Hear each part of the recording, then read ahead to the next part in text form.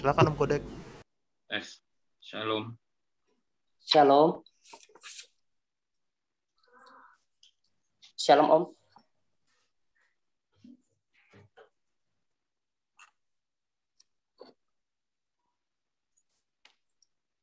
Shalom.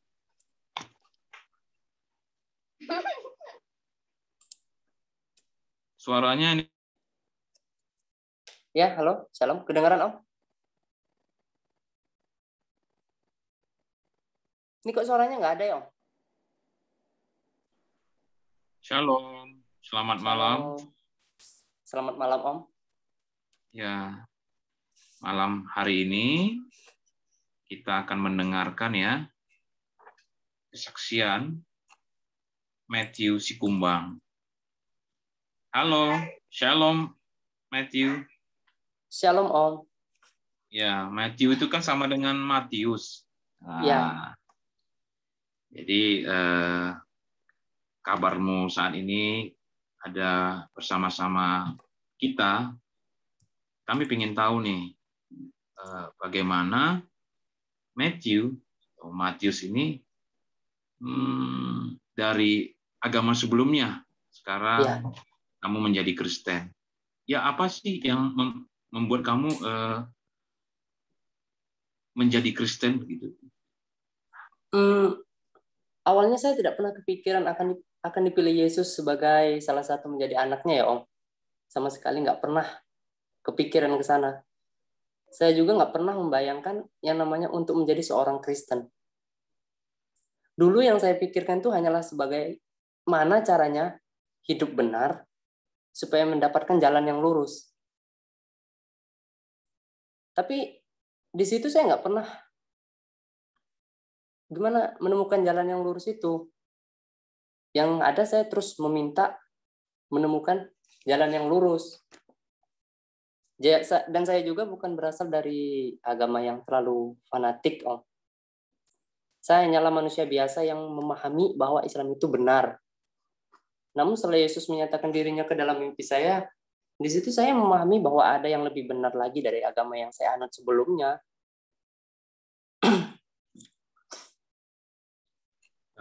Bolehkah kami tahu uh, seperti apa persisnya mimpi yang kamu alami, yang kamu dapatkan itu apa ya? Boleh ceritakan?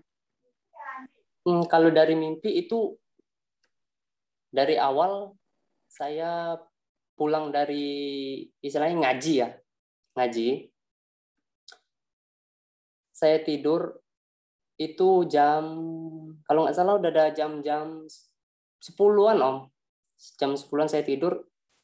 Itu saya dimimpiin itu sekedar cahaya dia berbadan manusia, tapi wajahnya itu cahaya gitu kan. Dia datang, ikutlah aku, maka kau akan selamat. Itu mimpi pertama ya Om. Itu di hari pertama.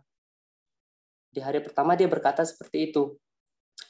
Saya tanyakan pas saat saya bangun, saya tanyakan kepada salah satu ustadz. Dia bilang gini, itu mimpi dari jin. Ya saya kan tetap percaya kalau mimpi itu dari jin. So- Soalnya kan kalau dari ajaran saya dulu, yang namanya mimpi selain dari Nabi Muhammad itu berasalnya dari setan kan maksudnya dari mimpi kalau selain dari mimpi baik gitu kan itu berasalnya dari setan. Nah, ya udah saya ikuti. Tapi hari berikutnya tetap hari itu, maksudnya gini loh. Hari pertama terus hari kedua. Saya malam-malam itu kalau nggak salah jam satuan itu saya dimimpiin itu lagi om dengan orang yang sama berkata hal yang sama lagi. Tapi saya nggak ngomong karena saya udah ada rasa ini ya pasti ini jawabannya bakalan sama. Pasti itu juga jawabannya Om. Saya pikirnya di situ. Terus agak jarak beberapa hari lagi itu datang lagi itu mimpi. Dan itu benar-benar membuat saya ada keraguan. Di situ saya putuskan datang ke gereja Pentakosta Rahmat yang ada di salah satu tempat saya tinggal yang digembalai oleh Om Benny Martunele.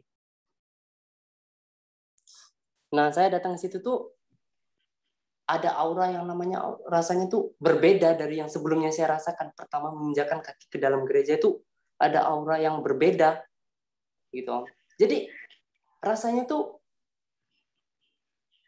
gimana ya? Ada rasa damai suka cita, gembira, bahagia pas saat saya pertama masuk ke situ. Dan juga pas saat saya menemui Om Benny, saya bilang, saya cerita ke semua tentang mimpi kejadian ini tadi.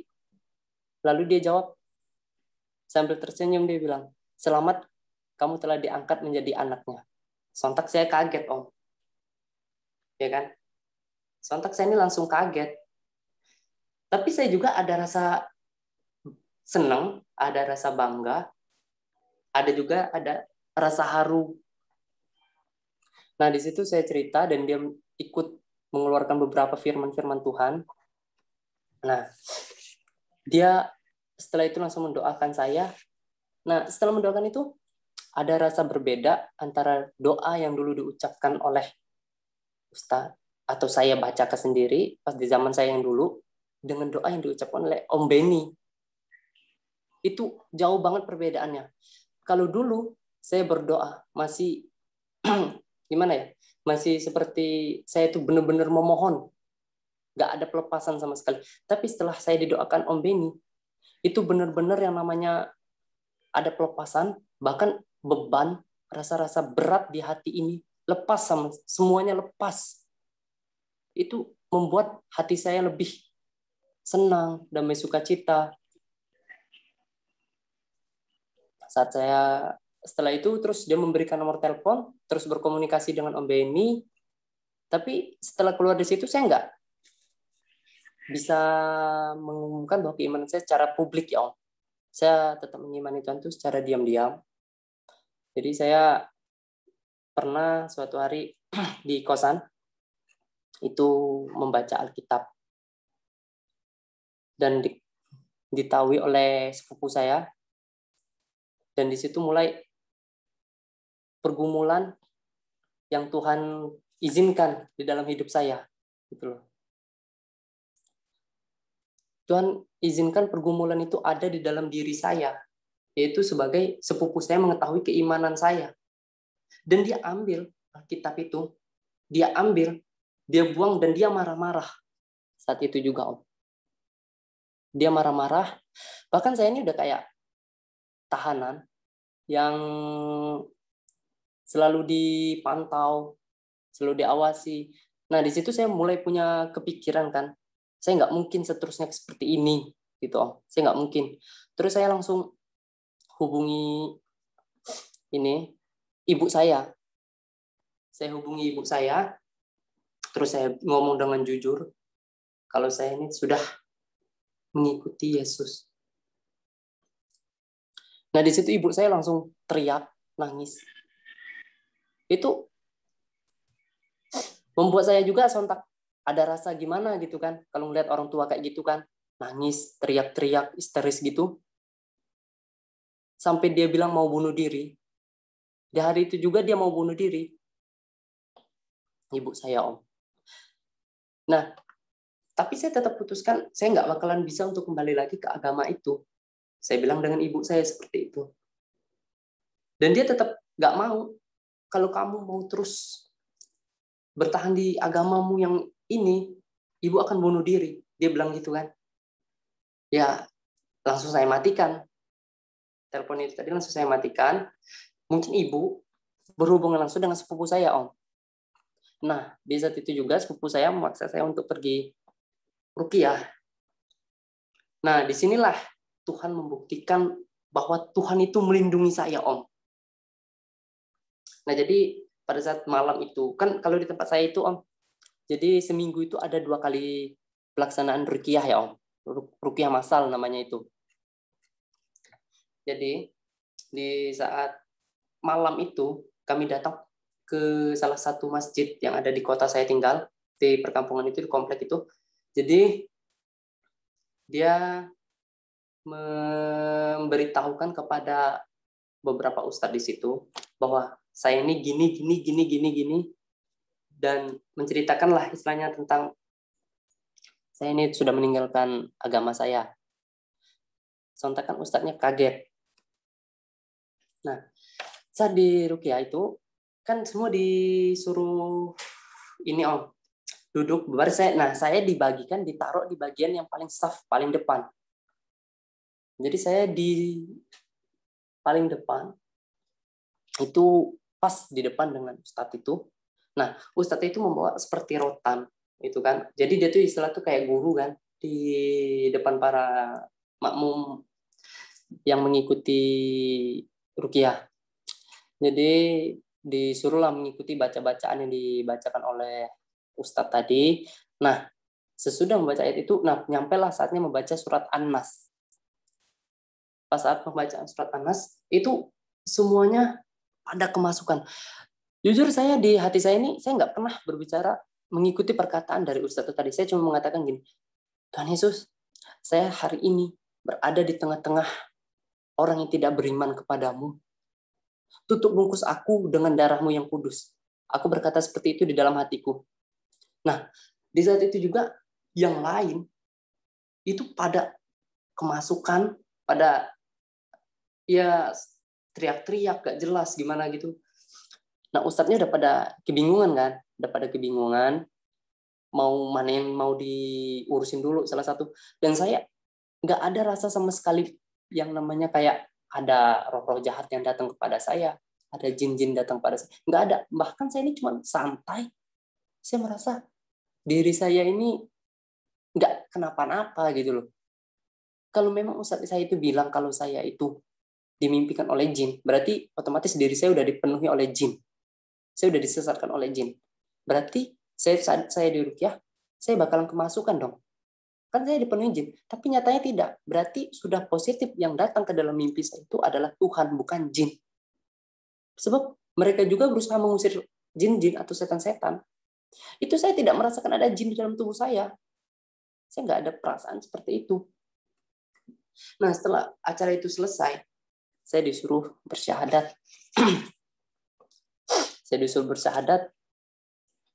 Ada empat orang ustadz itu tuh bertanya-tanya kan, apa yang menyebabkanmu menjadi Kristen? Saya nggak menceritakan mimpi saya, Om. Kalau saya menceritakan mimpi saya, jawabannya udah pasti itu bakalan sama. Tapi saya cuma membacakan Yohanes 15 ayat 16. Kan? Bukan kamu yang memilih aku, tapi akulah yang memilih kamu dan aku telah menetapkan kamu supaya kamu menghasilkan buah dan buahmu tetap. Dan apa yang kamu minta kepada Bapa ke dalam namaku diberikannya pula kepadamu. Itu yang kubacakan. Malah apa jawab ustadznya? Ini anak udah dalam. Nah, aku bilang, di hatiku bilang seperti ini dalam apanya aku cuma membacakan firman ya kan aku membaca firman itu firman cuman aku baca di saat malam itu juga bukan di saat aku rukyah tapi di saat malam kan aku baca firman-firman nah aku ketemu ayat Yohanes 15 ayat 16 aku baca itu dan aku hafalin nah pas rukyah pas Ustaz nanya aku ya aku jawab dengan Yohanes 15 ayat 16 malah jawabannya ini anak sudah dalam. Ya, maksud dia dalam itu apa? Aku nggak tahu. Nah, saya disuruh bersyahadat. Itu awalnya biasa-biasa aja. Nah, jadi di saat bersyahadat itu dia mengucapkan sampai lengkap asyhadu an la ilaha illallah wa asyhadu anna muhammadar rasulullah. Saya mengucapkan itu dan kepala saya benar-benar pusing. Apa rasanya itu gimana ya? Pusingnya itu di atas mata gini om. Jadi pusing itu beda, nggak kayak pusing yang kita alami itu. Itu benar-benar pusing. Terus saya dibimbing terus sampai tiga kali bersahadat. Setelah bersahadat, dia nepuk pundak saya kan, seperti itu. Ini ada daun, itu daun kering. Dia kasih daun kering ke saya, sampai dia bilang gini, ini kamu pakai untuk mandi. Di, di bahwasannya di zaman Rasulullah dulu, kalau ada yang baru bertobat, dia akan dimandikan dengan daun ini. Saya nggak tahu itu daun apa, tapi itu daun yang kayaknya udah dikeringkan. Cuman saya nggak pakai. Saya cuma percaya, saya udah bertobat kepada Yesus, saya bukan bertobat kepada yang dulu. Saya udah lepas dari yang dulu, kenapa saya harus bertahan lagi atau mengikuti tradisi yang dulu? Saya sekarang udah saya sekarang yang sudah percaya dengan Yesus. Jadi saya harus mengikuti perintah Yesus, bukan perintah yang dulu. Nah, tidak hanya sampai di situ. Ini baru yang pertama kalinya saya di Rukia. Nah, jadi minggu itu juga ada dua kali. Jadi malam berikutnya ada, pokoknya malam Selasa sama malam Minggu. Nah, malam Minggunya saya di Rukia lagi, terjadi hal yang sama. Memang saya nggak bakalan pernah kemasukan juga. Terjadi hal yang sama, saya disuruh bersyahadat lagi. Ya, ini bersyahadatnya hal biasa sih. Tetap bersyahadat, tetap bersyahadat. Tapi nggak ada reaksi apa pun. Nah, udah, udah lepas, ya udah. Sampai abang saya itu udah bilang sama ibu saya, ibu saya udah tenang lah mungkin udah tenang terus mungkin setelah itu juga ibu saya masih ada kecurigaan kayaknya mungkin jadi saya itu terus dipantau dan saya itu terus diikuti sepupu saya ini tadi. Jadi dia tidur terus di kosan saya. Jadi dia periksa apa yang ada di kosan saya. Bahkan HP pun sempat dipegang. Saya pernah chattingan dengan Bang Raven dengan Kak Maya dan mereka pasti tahu. Kak Maya itu tahu pergumulan saya gitu. Pak tahu dia tahu. Bahkan sampai saya di ini sama keluarga itu kak Maya tahu.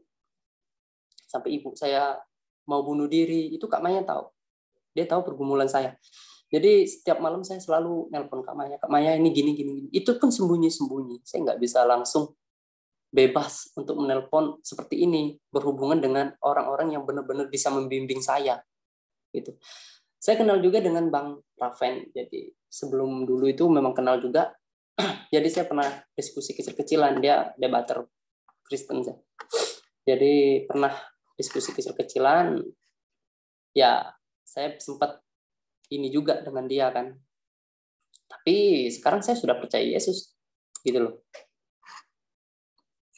Nah, pergumulan saya tidak hanya sampai di situ. Tidak hanya sampai di situ.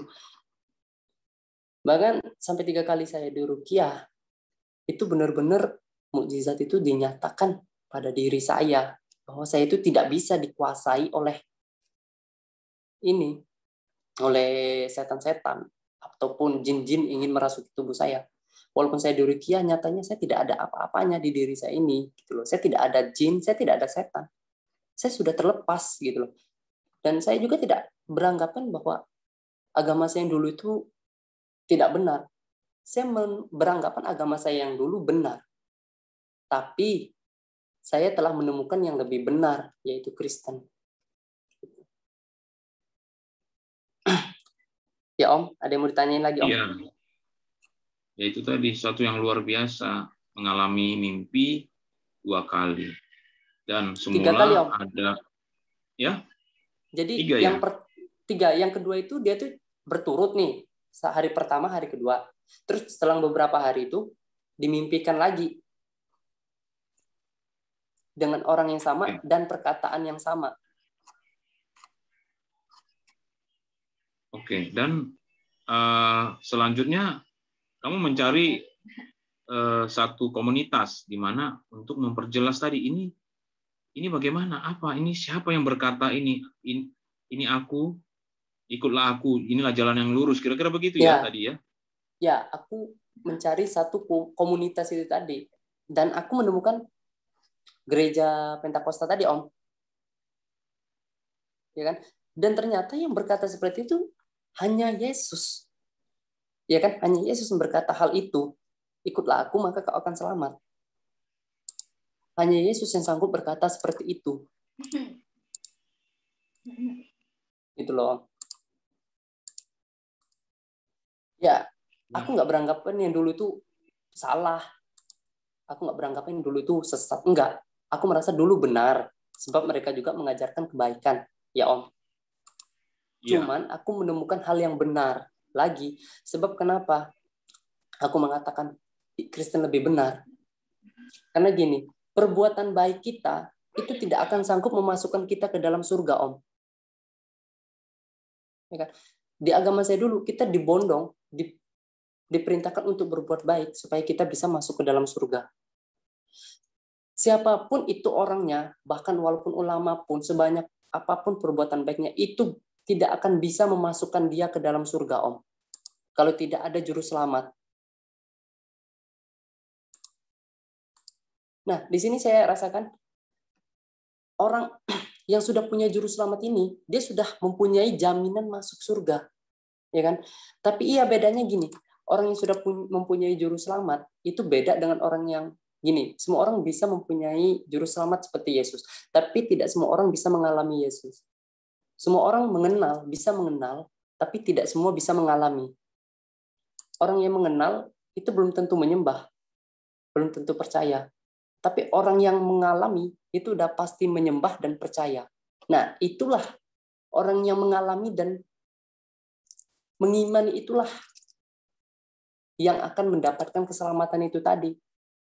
Kalau kita hanya sekedar berbuat baik, terus berbuat kebaikan di muka bumi ini, tapi kita tidak mengalami Yesus, tidak beriman, tidak mengakui dia mati dan bangkit untuk kita, itu tidak akan memasukkan kita ke dalam surga, tidak akan memasukkan kita ke dalam surga. Jadi saya sudah menemukan perbedaannya. Kalau dulu saya dipaksa, maksudnya gini, dalam ajaran saya digebuk untuk terus berbuat baik supaya kita masuk surga. Nah, di sini di Kristen saya apa sudah ada kepastian masuk ke dalam surga. Nah, bedanya di situ. Kalau kita sudah percaya Yesus, pasti kita akan berbuat baik. Ya kan? Orang benar pasti akan berbuat baik. Tapi orang baik belum tentu benar.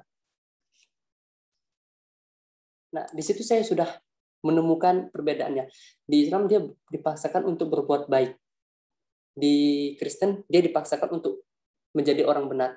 Nah, di sini saya sudah menemukan bahwa orang benar itu sudah pasti baik. Kalau orang baik itu belum tentu benar.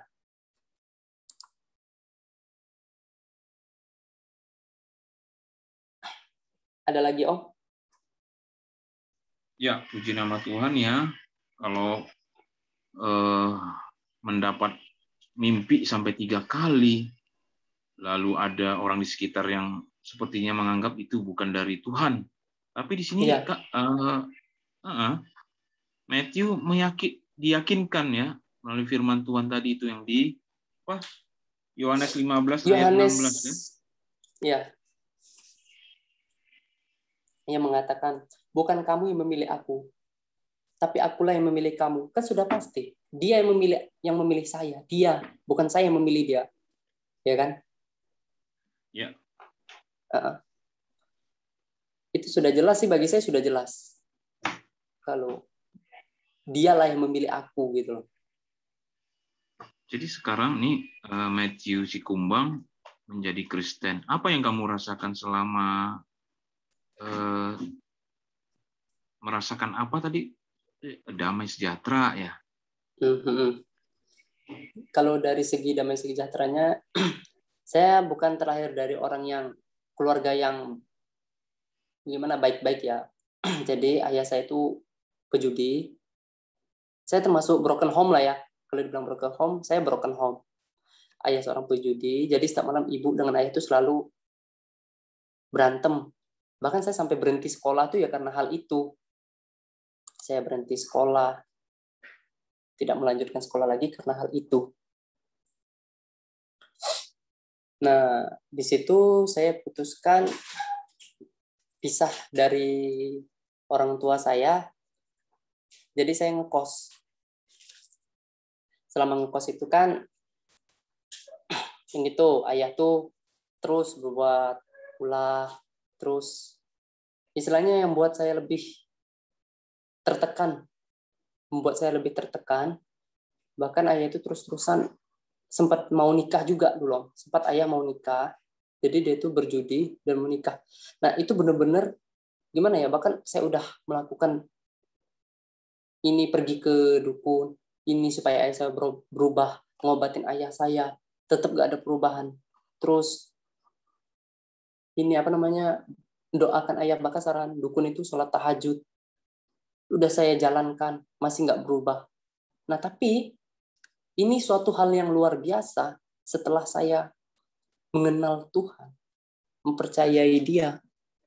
Saya berdoa, saya doakan terus, saya doakan terus. Sekarang puji Tuhan luar biasa dia berubah, Om. Luar biasanya itu. Itu damai sukacita.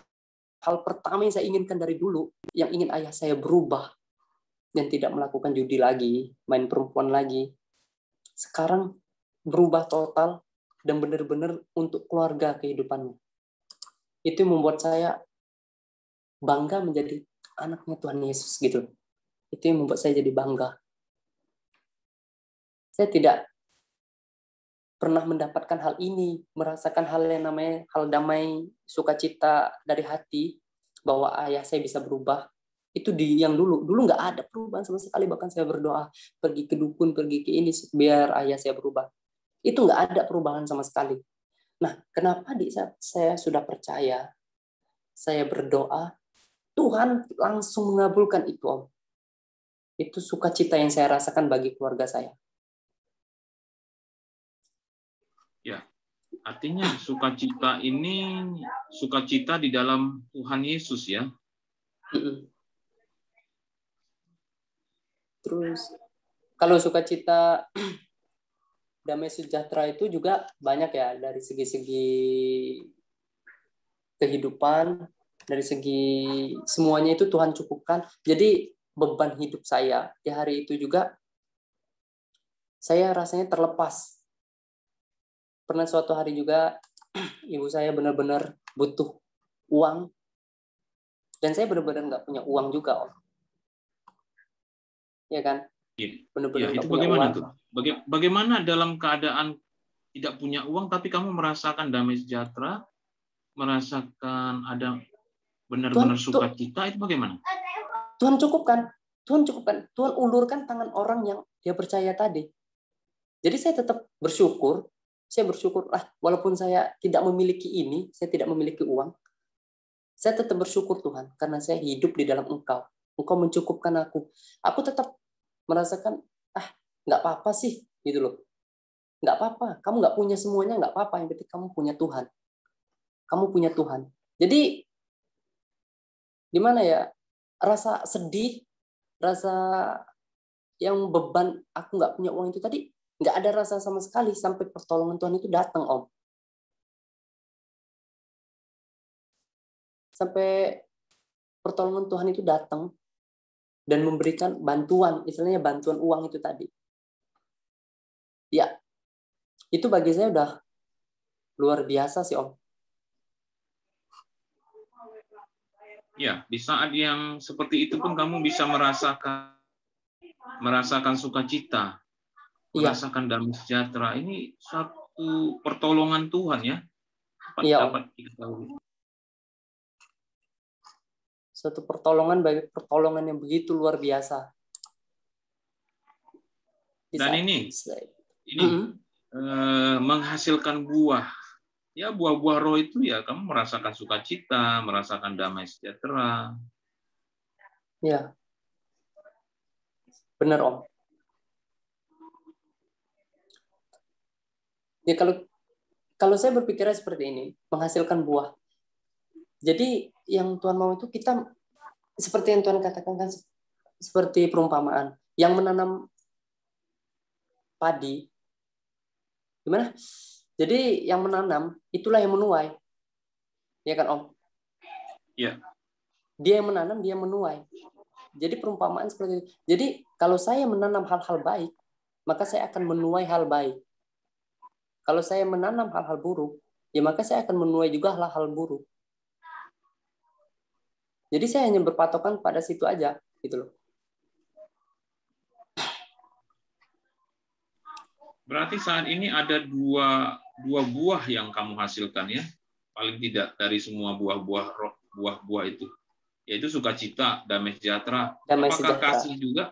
Kasih, kesabaran, kemurahan, kebaikan, kesetiaan, hmm kalau semua itu penguasaan diri, itu bagaimana buah-buah yang lain? Kalau semua itu belum terlalu aku ini sebab aku juga masih ada rasa dongkol, bahkan yang namanya rasa kesabaran itu juga kadang aku juga nggak memiliki ya om. Tapi aku terus berlatih. Kalau kasih, aku akan berusaha untuk mengasihi. Sebab Tuhan berkata kasihilah musuhmu. Aku tetap mengasihi musuhku dan aku terus berusaha mengasihi. Dan sekarang aku dalam masih dalam bimbingan pembelajaran buah-buah buah-buah roh itu tadi Om untuk mempraktekannya di dalam hidup ini. Yes. Seperti, seperti itu memang di dalam Tuhan. Silakan. Ya, ini Matthew Sikumbang. Tadi ya, Matthew sudah cerita belum yang uh, di Rukia? Aku, oh, udah, aku terlalu. Udah, Bu. Udah, udah. Ada yang mau ditanyakan atau mau di ini dari Ibu? Silakan, Bu. Nah, sekarang Matthew nih um, kan sudah melihat ya perbedaan antara dulu Matthew di Islam dan sekarang Matthew bersama Kristus ya. Iya, iya, Bu. Perbedaannya jauh kan ya? Jauh banget. Ya. Apakah sekarang Matthew masih terus berdoa untuk uh, keselamatan keluarga? Kalau berdoa pasti terus Bu. Setiap hari pasti saya lakukan, setiap pagi, malam dan siang itu saat saya istirahat kerja, pasti saya lakukan. Puji Tuhan. Jangan lupa tutup bungkus mereka dengan darah Yesus. Darah Yesus, ya pasti. Nah, sekarang pergaulan bagaimana Matthew? Kalau pergaulan saya sekarang udah nggak udah nggak gampang terpengaruh lagi bu. Jadi Amin. saya hanya fokus sama yang ibu arahkan juga jangan gampang seperti ibu ajarkan sama saya kan. Jadi pilih teman itu harus dilihat-lihat ya kan? Iya. Jadi ya saya ikutin saran ibu. Ya, karena kamu rasanya... adalah orang pilihan Matthew. Kamu sudah Amin. menjadi orang pilihan jadi kamu juga berteman harus memilih. Ya bukan berarti kita pilih kasih ya atau ya, uh, lagu ya. Tapi ya. pergaulan bisa membuat menjerumuskan kita Amin. Iya, Bu. Gitu. Ya. Nah, sekarang sekarang gimana ke depannya? Planning ke depannya. Kalau misalnya Matthew, Matthew dipanggil Tuhan untuk melayani gimana? Saya siap. Siap. Justru nah, itulah mungkin. keinginan saya.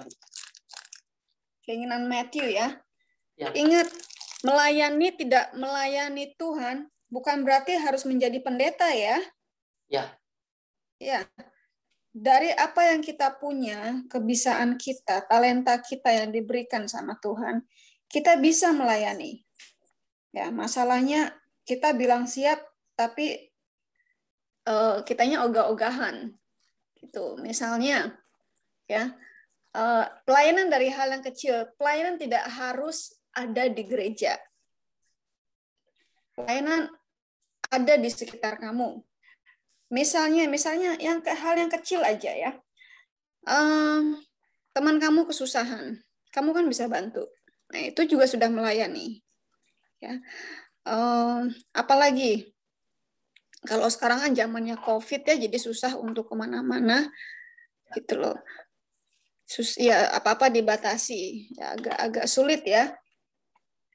Misalnya melayani keluarga kamu aja deh, ya.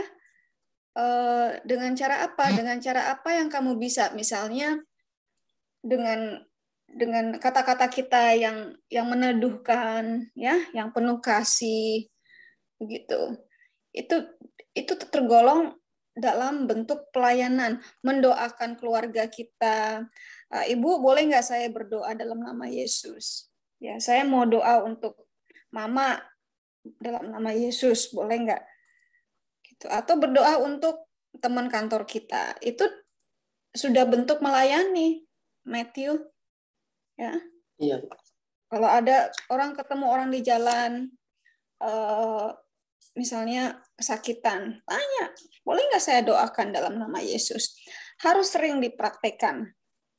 Karena saya juga dulu praktekin dari situ.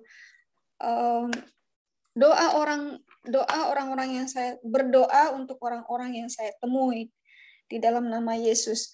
Ya, um, saya juga kaget waktu saya mendoakan orang kakinya itu apa namanya dia baru kesandung ya kesandung besi.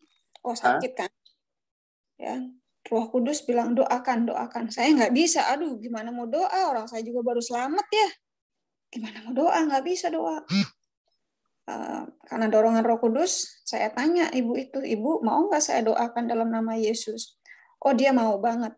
Setelah saya doakan sembuh. Wah, it feels good, feels much better. Kaget saya, wah ternyata saya bisa, ternyata saya doa dalam nama Yesus itu uh, manjur. Dari situlah, mulai dari situ. Ya. Jadi kita harus praktekkan apa yang kita percayai. Bukan hanya merenungi, aja renungin, ngomong doang, tapi nggak ada prakteknya. Ya. Begitu, Matthew. Ya. Dari situ ya. Tuhan akan memberikan uh, kamu urapan, memberikan kamu kuasa. Perlahan-lahan kamu akan diberi karunia-karunia yang kamu kamu butuhkan, bukan kamu inginkan ya, tapi kamu butuhkan. Itu. Ya, luar biasa. Terima kasih banyak. Saya menjadi luar biasa itu karena Tuhan. Amin. Amin. Ya. Sebab saya hanya biasa-biasa aja, Bu. Ya. Jadikan jadikan kesaksian kita untuk memuliakan Tuhan, bukan ya. untuk memuliakan diri sendiri. Ya, benar. Semua itu hanya untuk kemuliaannya saja, Bu. Ya. Karena ada istilah mengatakan orang Padang itu susah untuk jadi orang Kristen, ya, Matthew ya. Terlalu ini fanatik. Terlalu fanatik iya. Padahal mereka sendiri kan tidak mengerti ya apa yang difanatikkan ya benar. Tidak tahu juga tujuannya. Iya. Tapi sekarang Matthew kan sudah tahu tujuannya ke mana ya. Ya. Sudah kelihatan jelas istilahnya mata Matthew sudah dibuka lebar-lebar untuk melihat Sebab kebenaran nggak nggak semua orang bisa mendapatkan kebenaran itu gitu bu hanya orang yang dikaruniai oleh Tuhan hmm. saja kan hanya orang yang dipilih. Nah, orang yang dipilih. Berarti kamu orang yang dipilih. Amin. Ya kan? Bukan aku yang memilih, bukan engkau yang memilih aku, memilih tapi aku, tapi aku yang memilih kamu. Iya. Amin. Berarti Matthew dipilih oleh Tuhan untuk mendengarkan keselamatan, untuk menjadi muridnya. Ya. Yes, bukan dan amin. orang orang beragama Kristen ya Matthew, tapi menjadi murid Yesus. Yes. Gitu. Oke, ada lagi yang lainnya?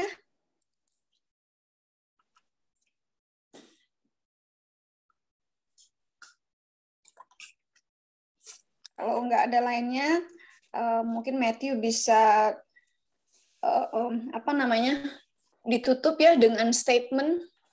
Oh, dan saya juga minta minta ini doanya supaya nanti saat keluarga saya tahu bahwa saya sudah percaya Yesus, mereka tidak mengalami yang namanya shock atau iya. gimana ya. lah, dan mereka bisa menerima. Pasti, ya.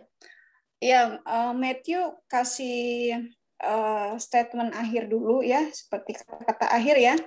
Nanti uh, akan doakan Matthew dan keluarga juga.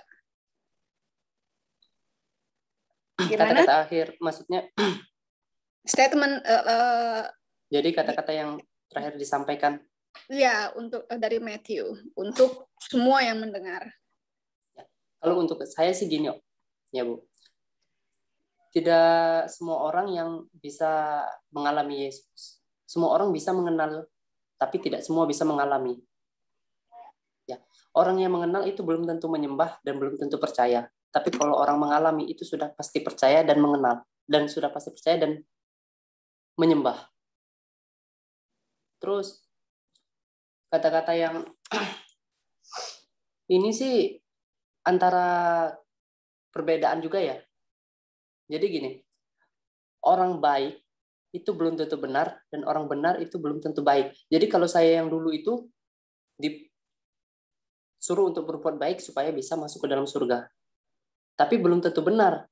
Tetapi di sekarang saya dituntut untuk menjadi orang benar kalau saya sudah menjadi orang benar, itu pasti kita sudah pasti menjadi orang baik.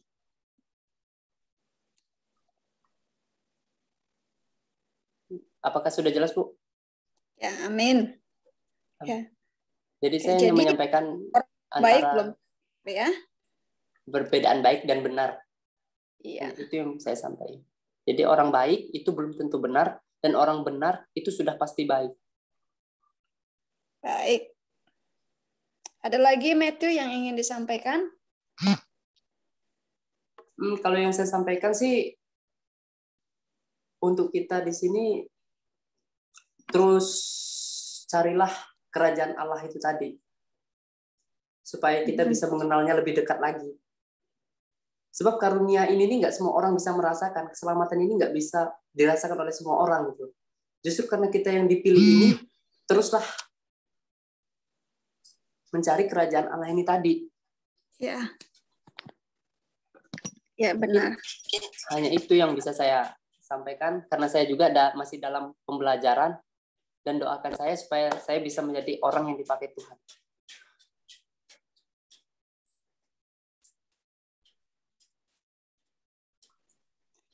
Kamu harus minta untuk dipakai Tuhan. Yes. Pasti. Bu. Kita semua harus meminta untuk dipakai Tuhan uh, apa pun yang kita punya, ya. Iya, Bu. Selalu meminta. Ya, Bu. Tuhan Tuhan adalah Tuhan yang murah hati, bukan Tuhan yang pelit, ya. Yes. Tuhan kita murah hati. Nah, kalau kita meminta, pasti diberi. Tapi jangan Yes. minta yang aneh-aneh ya. Gitu. Ada lagi dari moderator?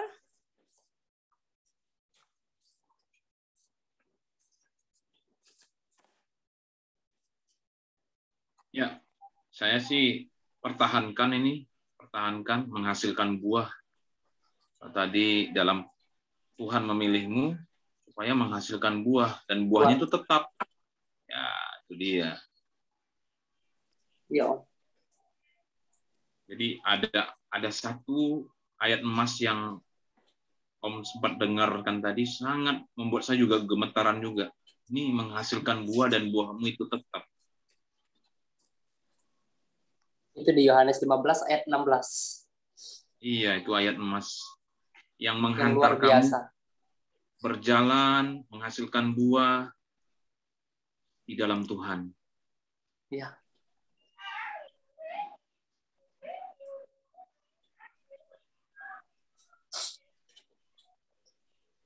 Satu sukacita juga, sekalipun kamu bersukacita saat bersaksi ini, kami dan saya khususnya mendengarkan juga dikuatkan. Wah, makin diteguhkan lagi. Amin. Nyata orang yang dipilih itu menghasilkan buah. Yes, amin. Itu dari saya. Mungkin ada nih juga dari teman-teman yang bersama-sama di sini juga ada yang mau apa? menguatkan saudara kita ini atau punya ini pertanyaan.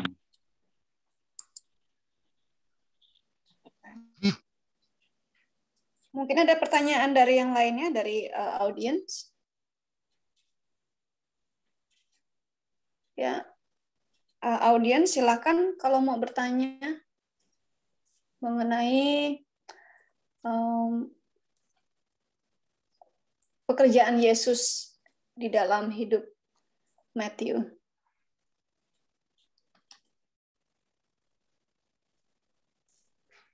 Ya, mungkin kalau dari saya eh, terima kasih ya buat Matthew buat kesaksiannya yang buat saya pribadi juga menguatkan ya Tuhan nyata, Tuhan hidup. Dia menggenapi janjinya dan doa saya buat Matthew Tuhan akan pakai dengan luar biasa Amin. sampai ke Amin. bangsa-bangsa dalam nama Amin, Yesus. amin Yesus. Amin. Amin. Amin Tuhan. Amin. Terima kasih, Bu Lin. Itu dari saya singkat itu aja. Terima kasih Pak Ferry. Ada lagi pertanyaan yang lainnya atau yang lainnya untuk menguatkan saudara kita Matthew?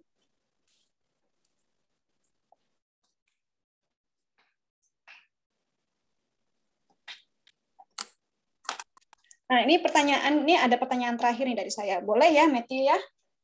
Nggak apa-apa ya? Hmm, Boleh, kalau nggak susah nggak apa-apa ya.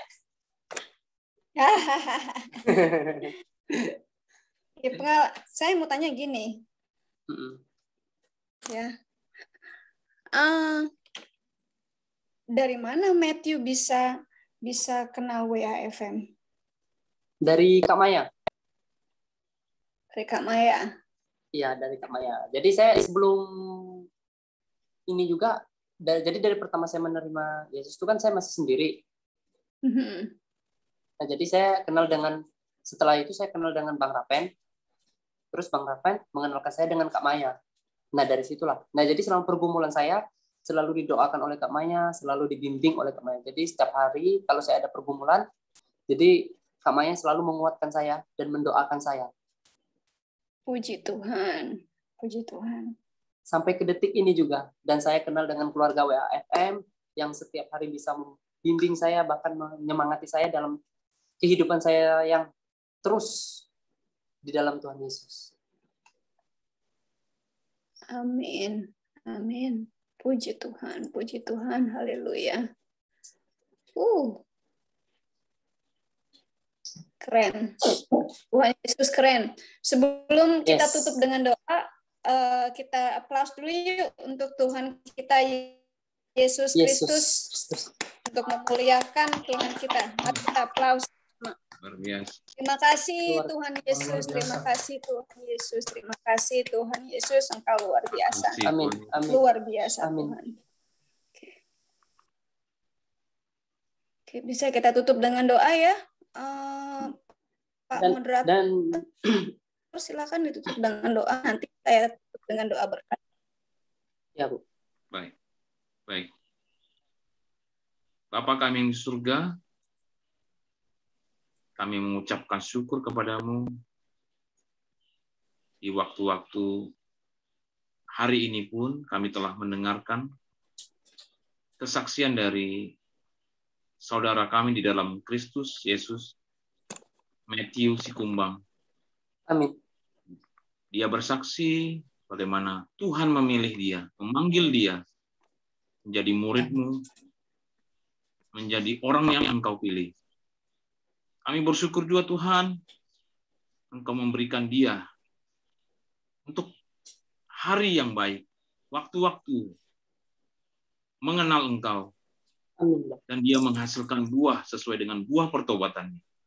Amin. Terima kasih Bapak di surga untuk kesaksiannya pada malam hari ini. Saudara-saudari kami yang lain juga dikuatkan dengan kesaksiannya. Yes. Kami yakin dan percaya Tuhan, Engkau benar-benar memilih dia, menghantar ia menjadi orang yang terus melayani Engkau sebagai Tuhan dan Juru Selamatnya. Biarkanlah dia Tuhan terus berkarya dalam pekerjaannya juga, dalam iman kepercayaan kepada Engkau. Sebanyak waktu yang Engkau berikan kepadanya. Terlebih-lebih Tuhan, dalam dia menghasilkan buah, biarlah buahnya itu tetap. Amin. Buah-buah dalam pelayanan, buah-buah untuk bersaksi kepada siapa saja. Terlebih kami juga mau mendoakan untuk keluarganya. Bagaimana nanti Tuhan, Engkau akan memakai dia untuk bersaksi kepada orang-orang di sekitarnya, terlebih-lebih kepada keluarganya. Amin. Kami tahu Tuhan, Roh Kudusmu bekerja dalam dunia ini karena kami yakin engkau memakai Matthew si kumbang Amin. menjadi alatmu melayani engkau bersaksi untuk kemuliaan namamu. Amin. Terima kasih Bapa di surga. Kami berdoa dan bersyukur di dalam nama anakmu Yesus Kristus. Silakan Ibu untuk uh, memberikan, menyampaikan doa berkat. Baik. Bapakku yang di surga, kami berdoa untuk putra kami, Matthew Sikumbang, Tuhan. Amin. Terima kasih Engkau telah mengangkat anak kami, Matthew, dari Amin. kegelapan ke dalam terang, Tuhan. Amin. Amin. Terima kasih Tuhan. Engkau telah membawa anak kami, Matthew, Tuhan. Amin keluar dari destruction, keluar dari kehancuran. Amin. Terima kasih Tuhan. Darahmu telah mensucikan anak kami. Amin. Terima kasih Tuhan. Darahmu pula lah yang mensucikan kehidupannya. Amin. Bukan karena perbuatannya Tuhan. Bukan karena perbuatan Matthew Tuhan. Tapi karena darahmu Tuhan. Semua karena Yes. darahmu Tuhan. Yes, yes. Bapakku yang di surga, aku meminta engkau melindungi anak kami Matthew si kumbang. Amin. Meminta engkau mengirimkan malaikat-malaikatmu Tuhan untuk selalu menjaga Matthew, memagari Matthew Tuhan, Amin. agari hatinya Tuhan, agar dia tidak sampai terjeblos uh, dengan temptation, dengan godaan-godaan Tuhan. Amin. Bantu dia Roh Kudus. Amin. bantu dia untuk selalu berjalan lurus sesuai dengan kehendak Bapak. Amin. Karena kehendak Bapak lah yang semua kami inginkan. Bapakku yang di surga, berkahi mulut Matthew. Amin Tuhan. Amin. Janganlah ada kata-kata kotor yang keluar dari Matthew. Amin. Jaga langkahnya Tuhan. Berkahi pekerjaannya Tuhan. Amin Tuhan. Amin. berikan sejahtera atas hidupnya Tuhan seperti yang telah Engkau janjikan kepada Yes. Abraham, Isaac dan Jacob. Berikan Amin. juga kepada Matthew Tuhan. Amin Tuhan. Bapakku yang di surga, Amin. didik bantulah kami mendidik anak-anak kami agar Amin. menjadi muridmu Tuhan. Bantulah kami orang tua-orang tua yang ada di WAFM Tuhan. Amin Tuhan. Amin. Untuk menjadikan anak-anak kami semua muridmu. Amin. memberikan kasih kepada mereka, Amin. memberikan tuntunan kepada mereka, dan memberikan contoh yang benar kepada mereka. Bapakku yang di surga, berkahilah kawan-kawan kami yang ada di sini. Amin. Amin. Arahkanlah wajahmu Tuhan kepada mereka. Dan berikanlah mereka semua, terutama Matthew Tuhan, anugerahmu yang luar biasa yang datang dari surga. Terima kasih Tuhan. Berikanlah kekenanan kepada kami semua di sini dan juga terutama kepada Matthew. Amin. Bapakku yang di surga, terima kasih Engkau telah memberkati acara ini dan selalu bersama kami dari awal acara ini dan sampai akhir Tuhan. Terima Amin, kasih Tuhan. Kami kami kembalikan ke- eh, kembali kepadamu masing-masing Tuhan dalam nama Yesus. Amin. Amin.